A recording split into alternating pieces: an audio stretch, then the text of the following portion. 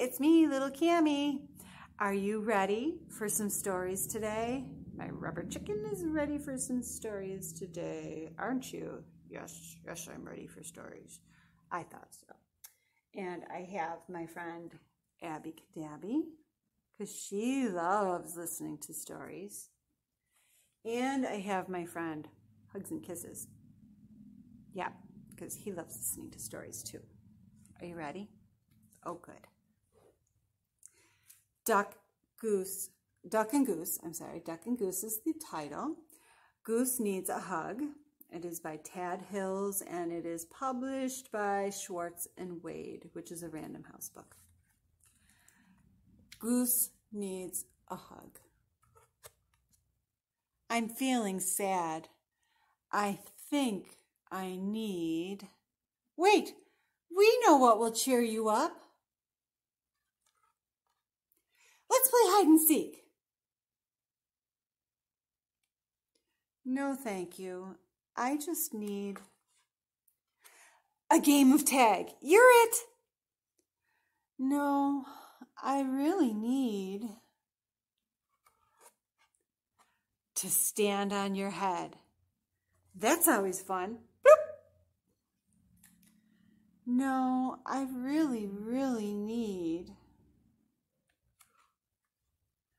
to splash in puddles. No, I very badly need a happy song. No, I need what goose? Oops, excuse my thumb. A hug.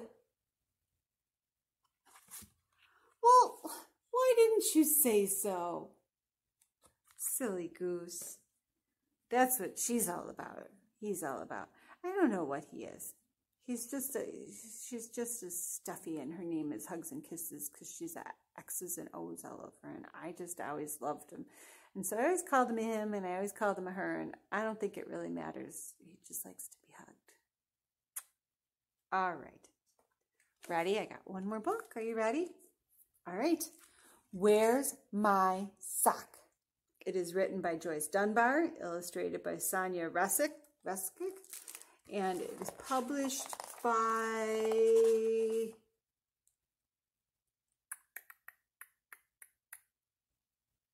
Scholastic. Where's my sock? Pippin was mad. Pippin was really mad. Pippin was as mad as can be. What's the matter, Pippin? asked Tog. I can't find my other sock, said Pippin. Which sock is that? asked Tog. My yellow sock with clocks, said Pippin, just like the one I am wearing. But you hate when you lose the match to your socks. I'll help you find your other sock, said Tog. Tog looked in the sock drawer. He found lots of socks, but he didn't find a yellow sock with clocks.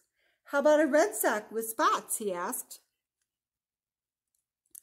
No, said Pippin, I want my yellow sock with the clocks. No sock there. How about a blue sock with stripes, said Tog. No, said Pippin, I need my yellow sock with clocks. How about a green sock with stars? said Tog. No, said Pippin, I must have my yellow sock with clocks. I don't want to wear odd socks. I want to wear matching socks. I'll just have to keep on looking until I find it. He's very upset. Pippin emptied the sock drawer, and the handkerchief drawer, and the sweater drawer, and the bits and bobs drawer. No yellow socks with clocks.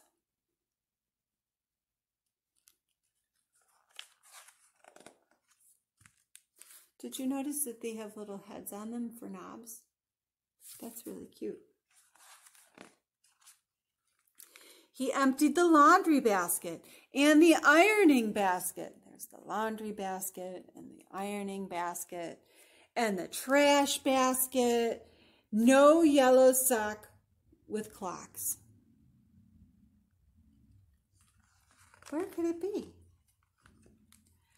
Sock, sock, where are you? wailed Pippin. It's only a sock, said Tog. It's no use crying over lost socks. I'm not crying, said Pippin. I'm cranky. Think of the poor lost socks, said Tog. How awful it must feel. That's a thought, said Pippin. It must be all alone, said Tog. It may never, ever be found, said Pippin. Oh, that's horrible.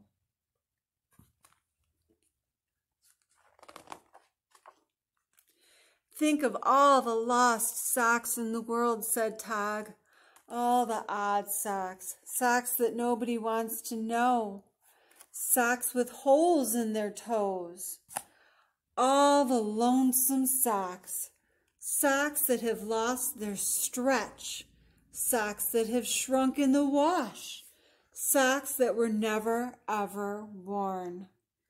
That's a lot of sad socks, said Pippin, and I'm a very sad Tog, said Tog.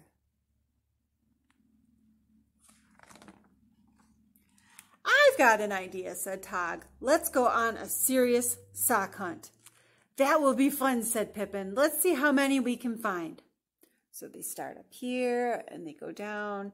They hunted socks lost under cushions and socks behind chairs.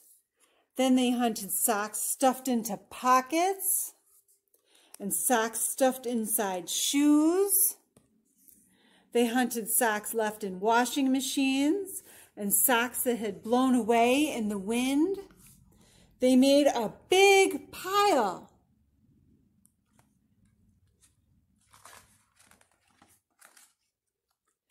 Then they tried to pair them. This is very difficult, said Pippin. We are making more of a muddle. Let's put them in a long line, said Tog. Then we can sort them out.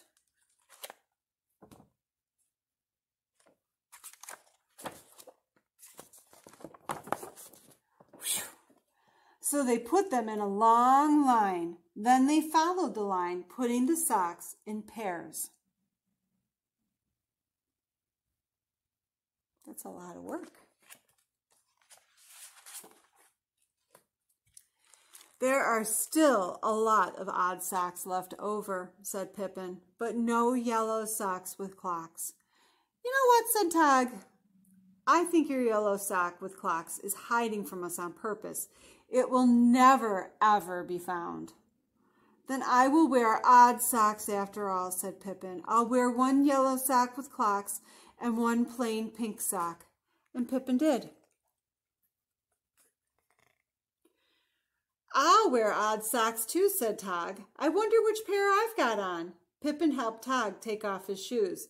Tog was wearing one purple sock with polka dots,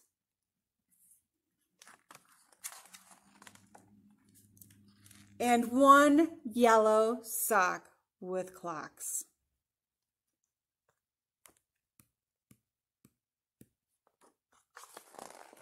That is the end.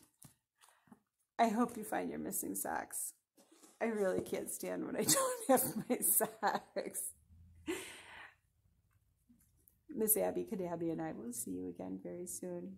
Come for a bedtime story next week. Bye.